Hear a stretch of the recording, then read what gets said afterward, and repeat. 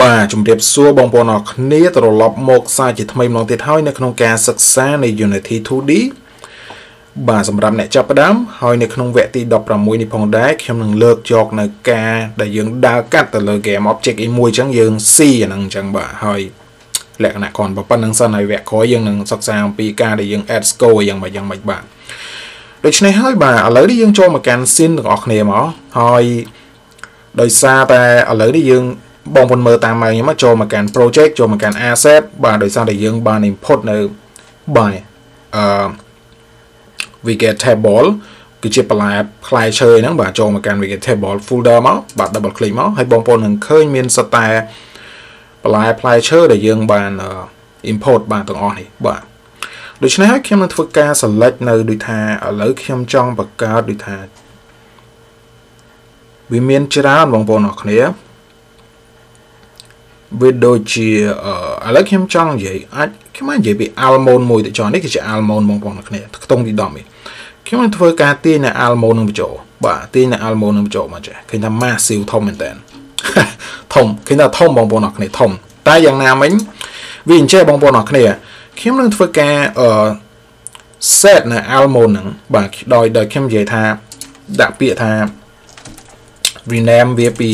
លេខ10អញ្ចឹងខ្ញុំ rename វាទៅកាន់ almond ចេះបាទ almond almond អូខេហើយ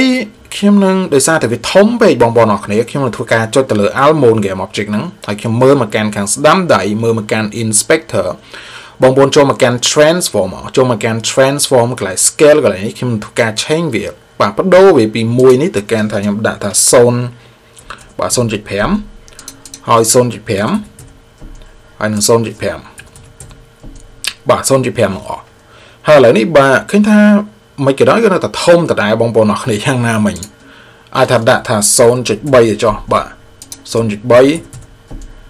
0.3បាទ0.3អស់គេថាប៉ុណ្្នឹងបានទេបើយើងចូលទៅកាន់ game យើង maximize ទេឃើញថាអូខេប៉ុណ្្នឹងយើងអាចទទួលយកអូខេឥ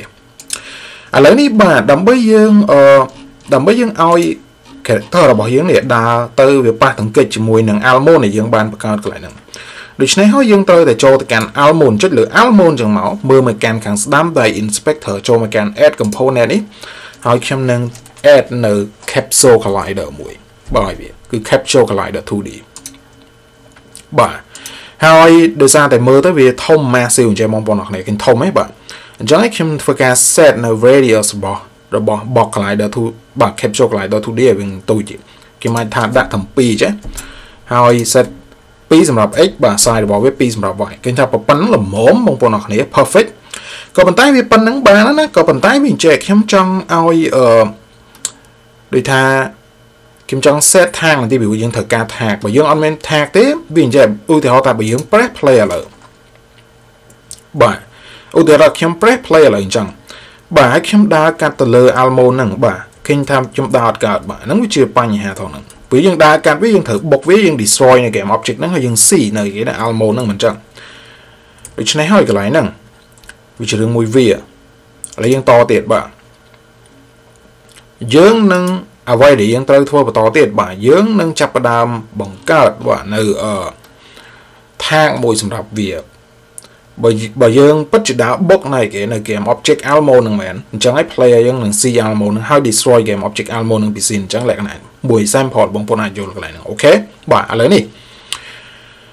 ដើម្បីបង្កើននៅ tag ដដែលដែលបងប្អូនអរគ្នាចុចទៅលើ almo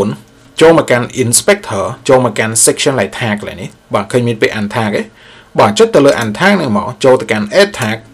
ហើយ correct នៅ tag បាទហើយខ្ញុំនឹងដាក់ឈ្មោះវាថា almond ចាបាទ almond almond almond ចាអូខេ save ហើយឥឡូវវាមិនតាន់ set ទេយើងត្រូវ select almond ម្ដងទៀតហើយយើង set បាទចូលទៅកាន់ untag ម្ដងទៀត select លើពាក្យ almond អូខេហើយឥឡូវនេះបាទអ្វីដែលខ្ញុំអ្វីដែលយើងត្រូវធ្វើបន្តទៀតគឺយើងត្រូវទៅ save script បើសិនជាវា detect collision ជាមួយនឹង almo នឹងប៉ាត់មែនអញ្ចឹងវានឹងធ្វើការ destroy នៅ almo នឹងលក្ខណៈមួយ sample ឲ្យបងប្អូនមើលបន្តិចដូច្នេះហើយឥឡូវនេះយើងចុចទៅលើ player យើងមកបាទកន្លែងខ្ញុំវាអណយយើងអា tile manager magnitude នេះខ្ញុំខ្ញុំបិទវាបន្តិចចេះខ្ញុំទាញ player ចុះមកខាងក្រោមចេះខ្ញុំតេបងប្អូនមើលបន្តិច ឥឡូវយើងចុចទៅលើ player យើងមកហើយយើងចូលមកកាន់អឺយើងចូលមកកាន់អឺ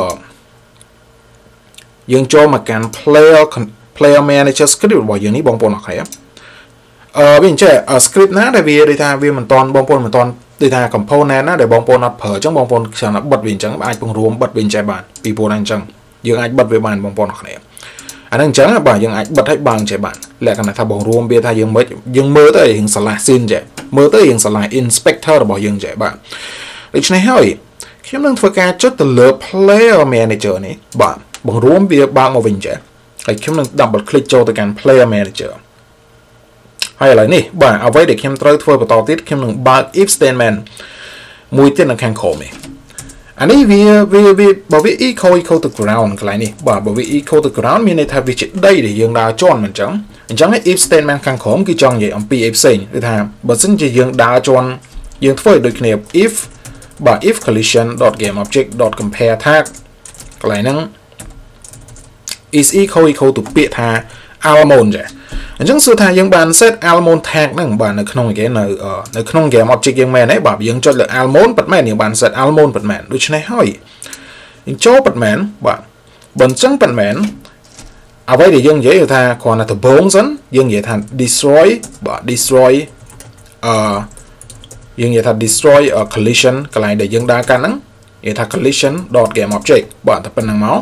ហើយយើងចុចគេយើងដាក់ semicolon វាក្រោយចាបាទតែប៉ុណ្្នឹងហើយអញ្ចឹងកន្លែងហ្នឹងមានន័យថាបើវាបើ player យើងបានដើរកាន់នៅនៅ almond game object ហ្នឹងមែននៅក្នុងអីគេនៅក្នុង private void on collision enter 2d នេះវានឹងធ្វើការ destroy នៅ collision.game object ដែលយើងបានដើរកាន់បាទបើវាប៉ះសង្កេតគ្នាប៉ុន្មានឥឡូវយើងអីគេយើង save all មកយើងត្រឡប់ទៅកាន់ unity យើងវិញហើយខ្ញុំនឹងដើរកាត់ almond នេះខ្ញុំនឹងតេស្តឲ្យបងប្អូនមើលមើលទាំងអស់គ្នាបាទ ហើយឥឡូវនេះបាទខ្ញុំនឹង press play ហើយយើងនឹងមើលឃើញទាំងអស់គ្នាត្រង់ហ្នឹងអូខេនៅពេលដែលខ្ញុំនៅធម្មតាចឹងអត់ស៊ីទេប៉ុន្តែបើខ្ញុំដើរកាត់ boom ឃើញ almond នឹង destroy ចេញពី scene បាទហើយឥឡូវនេះបាទខ្ញុំចង់ចេះបាទដោយសារតែបើសិនជាយើងចុចលើ almond នេះយើងចុច control D ដើម្បី duplicate ហើយយើង ទាញចលងចលងវាវាអាចថាវាញ៉ៃញ៉ៃពេញស៊ីនដូច្នេះហើយវាអញ្ចឹងខ្ញុំចង់ទាញវិញខ្ញុំចង់ទាញលក្ខណៈមួយខ្ញុំបង្កើនៅ prefab បាទអាចថាបងប្អូនមិនទាន់ចេះបង្កើនៅ prefab អញ្ចឹងនៅពេលដែលខ្ញុំនិយាយ prefab prefab មានន័យថាអញ្ចេះបាទមានន័យថានៅពេលដែល roll ពេលដែលបងប្អូនចុចទៅលើ almond ចុច control D ដើម្បី duplicate ហើយចុច move to move ដាក់កន្លែងផ្សេងទៀតវាមានមានអារម្មណ៍ថាវាដូចជារំខានបាទវាវាជាមួយដូច វាវាមានអារម្មណ៍ថាដូចជារំខានមែនបងប្អូនអរគ្នាអញ្ចឹងដើម្បីយើងជៀសវាងអាការរំខានដែលយើងចេះតែចុច control D យើងទាញអញ្ចឹងបាទអ្វីដែលយើងត្រូវធ្វើបើយើងចូលមកកាន់ project យើងមកយើងចូលមកកាន់ asset ហើយយើង right click create នៅ project មួយស្វាសំទុក create នៅ folder មួយហើយ folder ហ្នឹងខ្ញុំនឹងនិយាយថាពាក្យថា prefab ចេះបាទ ហើយចូលមកកាន់ prefab folder ហ្នឹងមកអ្វីដែលបងប្អូនត្រូវធ្វើគ្រាន់តែទាញចុចម៉ៅឆ្វេងបាទទាញចុចម៉ៅឆ្វេងលើ almond ចឹងមកចុចម៉ៅឆ្វេងមកទាញ almond នឹងចូលមកកាន់ prefab ហ្នឹងដើម្បី create នៅ prefab ឥឡូវខ្ញុំ create បានណាអ្វីដែលយើងត្រូវធ្វើបន្តទៀតបាទខ្ញុំអាចទាញថា almond អាចាស់នេះខ្ញុំមិនទាញយើងចូលមកកាន់ក្រោមនេះហើយនៅជាប់ដីមើលទៅវាតំណងអូខេឥឡូវអ្វីដែលបងប្អូនត្រូវធ្វើបន្តទៀតបាទរាល់ពេលដែលបងប្អូនចង់ ដាក់នៅ almond កន្លែងណាមួយបងប្អូនគ្រាន់តែទាញបាទ almond ចុចមកឆ្វេងទាញចឹងមកពី sin បាទពីសុំតបាទពី project នេះបាទពីពី prefab folder ទាញទៅដាក់កន្លែងដែលបងប្អូនចង់ដាក់ហ្នឹងឧទាហរណ៍ថាឥឡូវខ្ញុំចង់ទាញវាយកមកដាក់នៅបន្តទៀតថាកន្លែងនេះចុះអញ្ចឹងឲ្យចុចមកឆ្វេងនៅក្នុង prefab ហ្នឹង game object ហ្នឹងចុចចឹងមកចុចចឹងឲ្យទាញយកមកដាក់ចឹងបាទ direct ហ្មងឃើញទេ perfect យើងអត់មានចាំបាច់ control D ដើម្បី duplicate អញ្ញាញ៉ៃច្រើន3 4 5ដងឃើញចេះអូខេ ហើយខ្ញុំទាញទៀតយកមកដាក់នៅខាងលើដាក់ទៅកាន់កន្លែងដែលខ្ញុំចង់ដាក់អញ្ចឹងអានឹងលក្ខណៈមួយអញ្ចឹងបងប្អូនអរគ្នាអូខេឃើញថា perfect តែម្ដងហើយឥឡូវនេះអ្វីដែលខ្ញុំត្រូវធ្វើបន្តទៀតបាទខ្ញុំនឹងធ្វើការចូលទៅកាន់ game maximize ហើយខ្ញុំ press play ឲ្យតេស្តបងប្អូនមកទេខ្ញុំជើងនេះខ្ញុំបើក sound ផងបាទអូខេ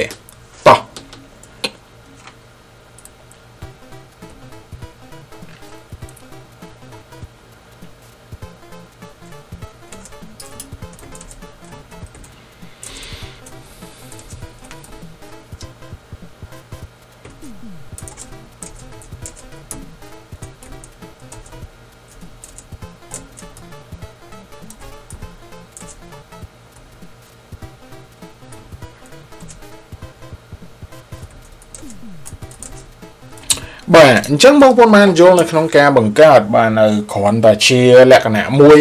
item sample item បាទនៅក្នុងការសម្រាប់ទោះជាបងប្អូនមិនដែលចេះ Unity សោះក៏បងប្អូនអាចបង្កើតគ្រាន់តែដាក់ដាក់ធ្វើតាមខ្ញុំសិនបងប្អូនយល់បាទនៅក្នុងហ្នឹងក៏ប៉ុន្តែវាអញ្ចឹងបងប្អូនអរគ្នារាល់ពេលដែលយើងទាញនៅ game object ណាមួយបាទបញ្ចូលទៅក្នុង scene ដូចខ្ញុំនិយាយអញ្ចឹងវា generate នៅចឹកហើយចឹកហ្នឹងវាជា game object នេះបាទឃើញវាពេញ scene ឥឡូវបាទវាពេញ scene ហើយវា វា100%វាប្រកាសជា CRAM CPU របស់យើងហើយក៏ប៉ុន្តែវាវាសំខាន់ដល់ថាយើងត្រូវរចនាវាមិនតិចទៀតដោយសារតែនៅក្នុង hierarchy របស់យើងវា space វាកន្លែងនេះវាទូចពេកដល់ពេលវាកន្លែងវាទូចពេកអញ្ចឹងយើងចង់រចនាវាថាលក្ខណៈមួយយើងបង្កើតនៅ game object មួយដែលផ្ទុកនៅអាហ្នឹងដូចថាយើងបង្កើតនៅ game object ធំមួយដើម្បីគ្រប់គ្រងនៅ game object ដែលដែលយើងបានទាញហើយយើង instant ហើយអញ្ចឹងយើងទាញបញ្ចូលអញ្ចឹងដូច្នេះហើយអឺយើង right click ទៅលើបាទយើង right click ទៅលើ hierarchy កន្លែងណាក៏បានយើង right click មកយើង correct នៅ empty game object មួយដូចថាយើងដាក់ទៅយើងដាក់ឈ្មោះ manager ទៅតាម object type ដែលយើងបានបង្កើតដែលយើងបានបង្កើតជាចុងហ្នឹងដូច្នេះកន្លែងនេះខ្ញុំនឹងនិយាយចេះសម្រាប់ខ្ញុំខ្ញុំនិយាយចេះ create empty game object ចឹងហើយខ្ញុំចុចខ្ញុំនឹង press F2 ចេះខ្ញុំនឹង rename វាដូចថាខ្ញុំដាក់ថា ground ground manager ground manager group ចេះបាទ ហើយខ្ញុំនឹងធ្វើការ select នៅ ground ដែលនៅក្នុងហ្នឹងហើយទាញចូលមកក្នុង ground manager group ហ្នឹងដូចថាដូច ground ណាដែលអត់ជាប់ពាក់ព័ន្ធជាមួយនឹង move ឬក៏ ground ណាក៏ដោយមិនសំខាន់អឺខ្ញុំអាចថា select ទាំងអស់ ground ដែល move ក៏ដោយមិន move ក៏ដោយបាទខ្ញុំ select ទាំងអស់បាទហើយចុចមកឆ្វេងចឹងមកចុចមកឆ្វេងទាញយកមកដាក់នៅក្នុង ground group manager group នេះបាទហើយនៅពេលដែលយើងចុចបិទឥឡូវឃើញថាសាលាឲ្យបងប្អូនអរគុណឃើញសាលាស៊ីននេះបាទ ហើយយើងបង្កើតមួយទៀតបាទសម្រាប់ item ដែលយើងបានយើងទាញយើងបង្កើតមុនហ្នឹងដូច្នេះហើយយើង correct នៅ empty game object មួយទៀតហើយយើង F2 យើងចុច F2 យើង rename វាទៅហើយកន្លែងនេះខ្ញុំនឹងដាក់ថា item item អញ្ចឹងអូខេឬក៏យើងនិយាយអាចថានិយាយថា item manager ចេះយើង make sense តិច item manager អូខេឥឡូវនេះខ្ញុំនឹងធ្វើការ select all almond នៃខ្ញុំបានទាញទាំងអស់នេះបាទទាញចុច select ទាំងអស់ហើយ ខ្ញុំនឹងធ្វើការទាញវាចូលទៅកាន់ item manager ហ្នឹងហើយយើងបិទអញ្ចឹងឃើញថាឆ្លាស់ឲ្យបងប្អូនអរគ្នាឆ្លាស់ផ្លឹងតែម្ដងបាទអូខេ perfect ហើយបើខ្ញុំ press play ឥឡូវអ្វីក៏ដោយគឺនៅ work ធម្មតាកុំកុំបារម្ភបាទគឺអត់មានអីទេ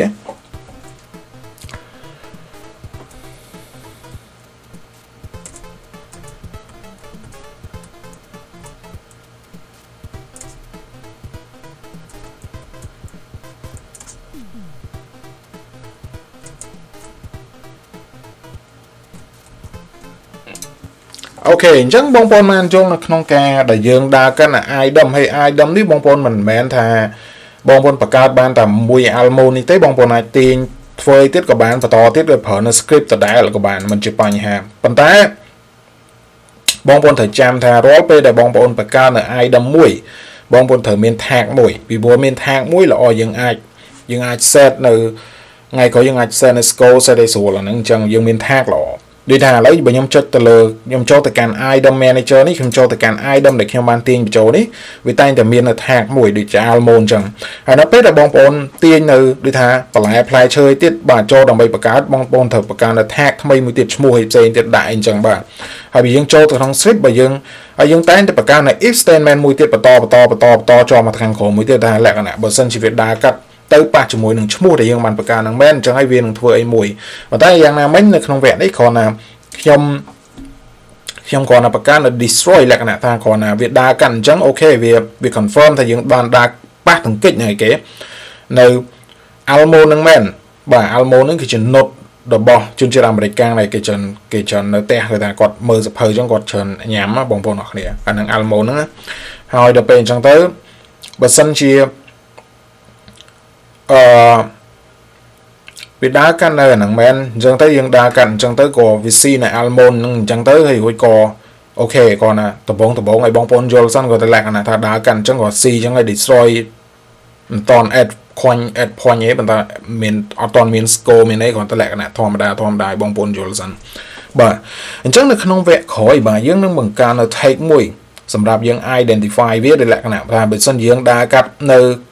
នៅ almond អញ្ចឹងទៅហើយវានឹងវានឹងបូកនៅចំនួនដែលយើងបានដើរកាន់ហ្នឹង set ចូលទៅកាន់ tag ដែលយើងបង្កើតយើងមាន UI ទិញទួចគ្រាន់តែអញ្ចឹងបងប្អូនអ្នកលក្ខណៈ sample ធ្វើធ្វើយ៉ាងម៉េចបាទដបងដបងឲ្យបងប្អូនយល់សិនអញ្ចឹងបាទសូមអរគុណបាទសូមជម្រាបលា peace